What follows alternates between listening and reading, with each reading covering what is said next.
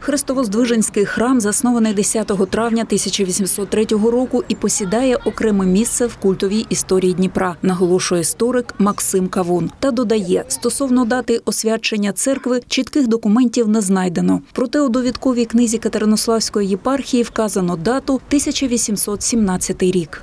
Цікаво, що засновував е, цей храм син засновника Слободи Діївка Максима Дія. Його звали Савва Максимович Дієв. Проживши революцію, війни, він зачинявся на декілька років, але е, його історія практично безперервна до цього часу. Будівля є своєрідною історією української народної архітектури. Перехід її з дерева на камінь. Основна частина храму це е, принцип дерев'яної народної архітектури. Називається восьмирік на четверику. Тобто баня має вісім граней.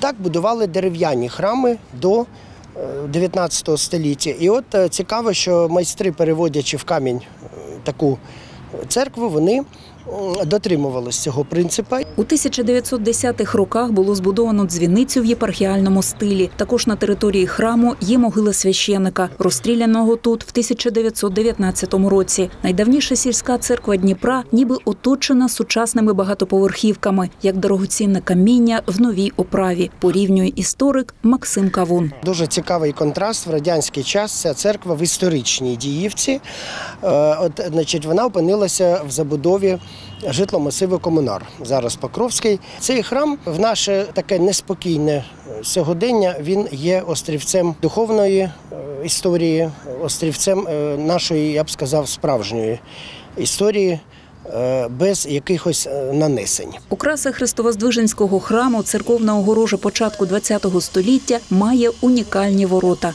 зауважує Максим Кавун. Брама в стилі необарокко от українського, яке взагалі не зустрічається в Катеринославі Дніпрі. Е, я думаю, що це проєкт якогось архітектора, який тут був реалізований, але досі його ім'я не знайдено.